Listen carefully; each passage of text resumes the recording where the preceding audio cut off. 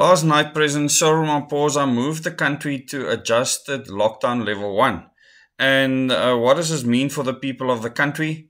Uh, it means that it's now political campaigning season and politics speaks louder than anything else at this stage because he has a job to keep. And I think at this stage, it was an easy decision for him with still a threat of this uh, fourth wave that they say is going to happen in December. We will just open up the country and allow up to 2,000 people to come together at gatherings outdoor, which is really two faced, in my opinion. If he really believes that things are as serious as they are, why move to level one lockdown level? This is a political decision.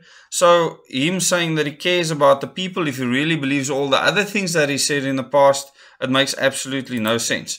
And in the article headline from News 24, it says lockdown SA moves to level one as government set to introduce vaccine certificates.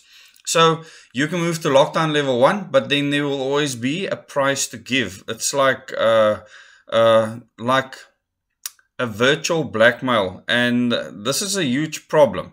And I will speak about that and address that in detail in future meetings.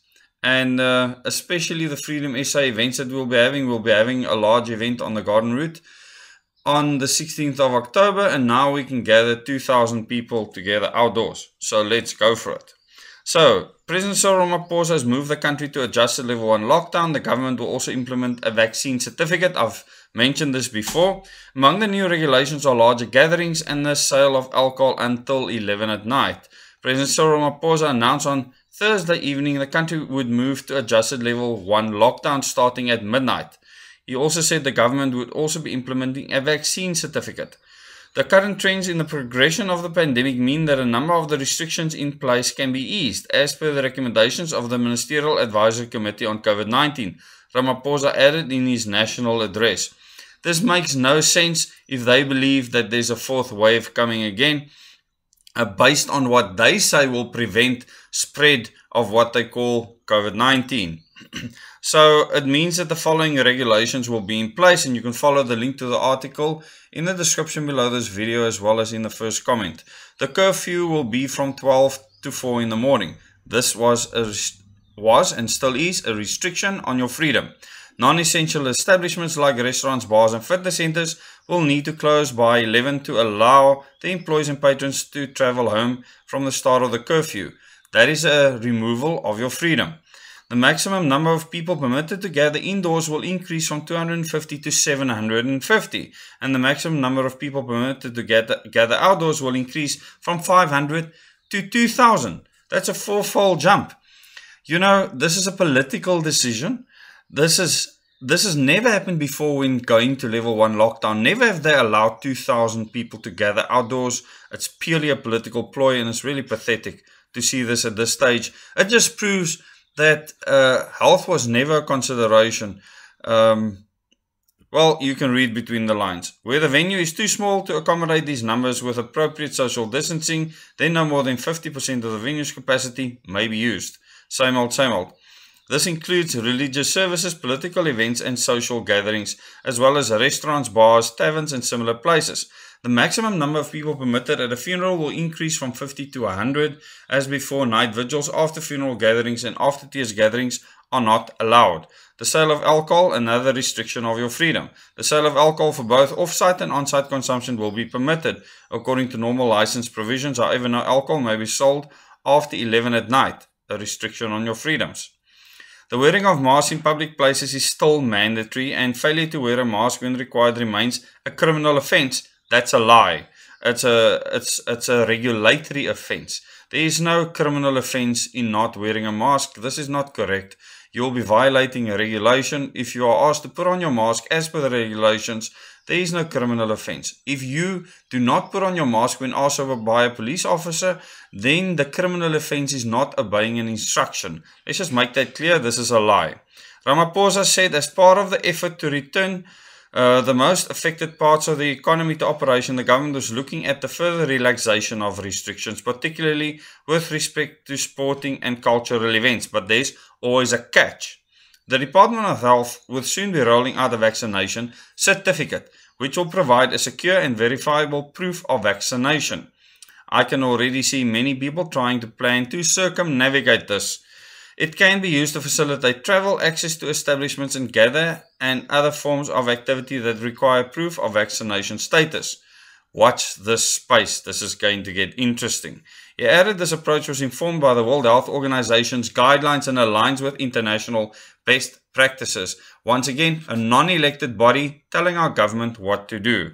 Streamlining and standardizing proof of vaccinations will also go a long way towards getting a number of international travel restrictions both from and into our country eased. Then, protect. Ramaphosa again urged South Africans to get vaccinated, saying it was not only to protect themselves and those around them, but also to prevent the emergence of new variants. However, we should remember that even if we are vaccinated, we need to continue to adhere to the basic precautions to limit the spread of the virus from one person to another, because as we all know, that you can still be contaminated and spread the virus even when vaccinated. We know that indoor gatherings, particularly in places that have poor ventilation, are the major cause of outbreaks and super spreader events, as they call it.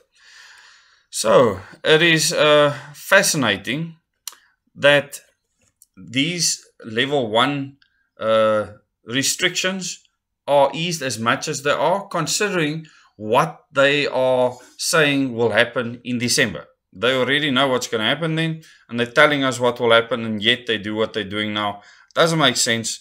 Um, I don't uh, know how to make sense of many things that people in government says, especially so Ramaphosa. And maybe it's because he is scripted and he can't actually use his own mind. Cyril, that's something you should think of, using your own mind. I quote at the end, we must continue wearing our masks at all times when in public, keep our distance from others, and always ensure that windows are open and that there is a flow of fresh air. If we continue to adhere to these regulations, if we keep the rate of infections low, and most importantly, if we vaccinate significant numbers of the adult population, we will keep the pandemic at bay and eventually force it into decline, he added. So there you go, people. We can gather now in groups of up to 2,000 people. That is a significant number of people. So let's have some fun and have these gatherings.